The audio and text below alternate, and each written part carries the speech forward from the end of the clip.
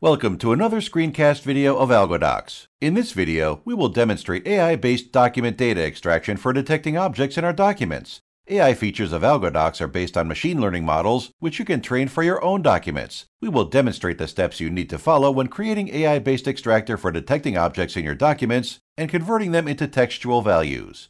Before we begin, let us consider the following PDF documents, which contain various icons. Assume that we need to detect some of these icons and have their corresponding values as an output in the form of a text. For example, if we have this icon anywhere on the document, we want the warranty field to have a value of 5 years, or if we have this icon on the document, then the listings field should be set to ETL.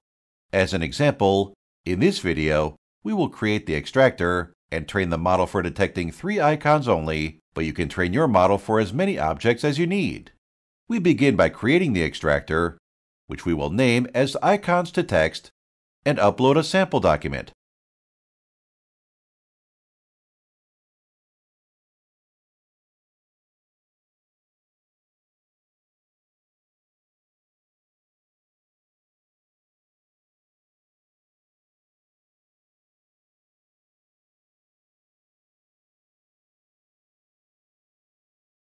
After our sample document passes pre-processing operations, we click on Manage button.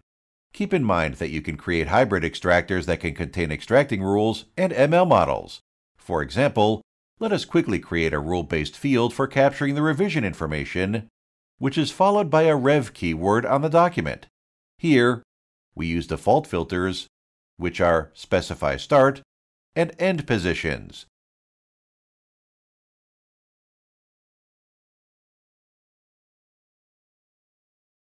We name the field Revision and save.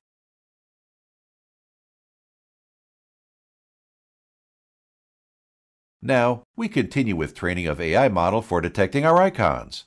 The first step is to define labels with their values. Every label represents a unique icon on the document. Therefore, we need to define a label for each icon we want to detect.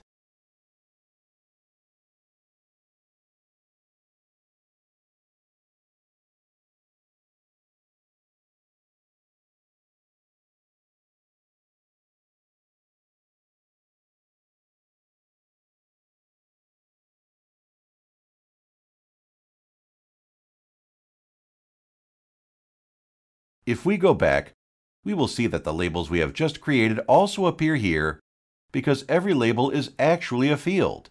We can go back to the model by clicking on any of these label fields. Now, we continue with the data set of our model.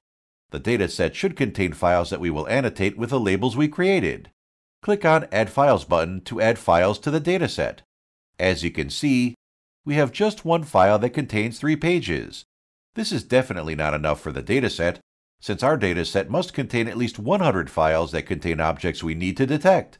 Therefore, we need to go to the File Manager and upload more files.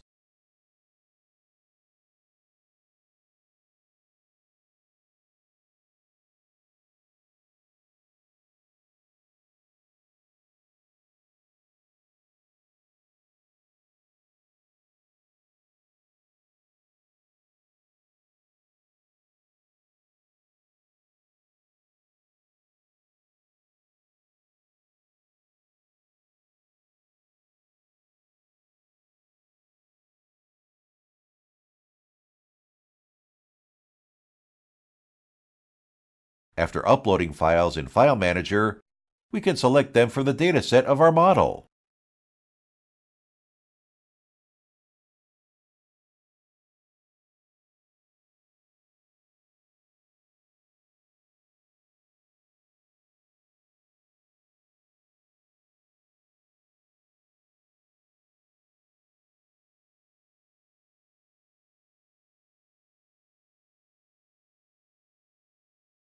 Before we continue with the annotation of our files, we need to remove files that do not contain any of the icons we need to detect.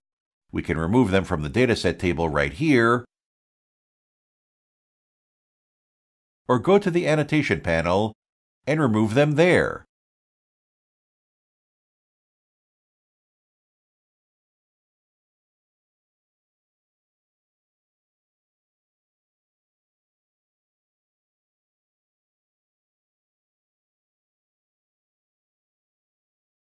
Removing unwanted files may take some time, so I will do this behind the scenes and come back after I'm done.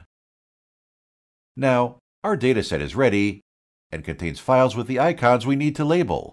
We need to label all files in our dataset.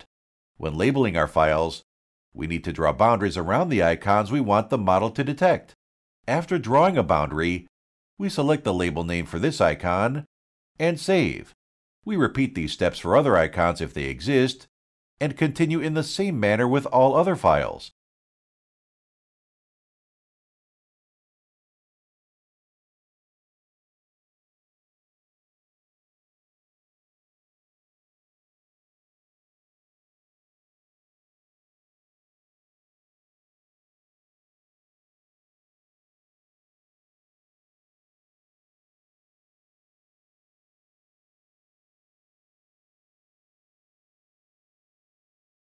Again, I will pause the recording here and return back when I am done with the entire dataset.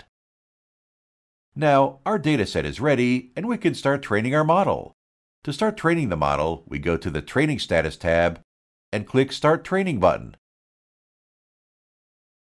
That's it, we are done. Please note that training may take some time depending on your dataset size and files. You will receive an email notification when training is completed. I will pause the video again and come back when training is completed.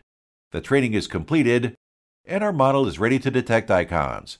We can go to Extracted Data section to see the output produced by our extractor.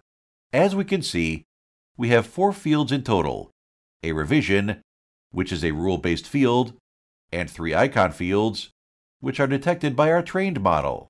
For any questions and support, please contact support at algodocs.com.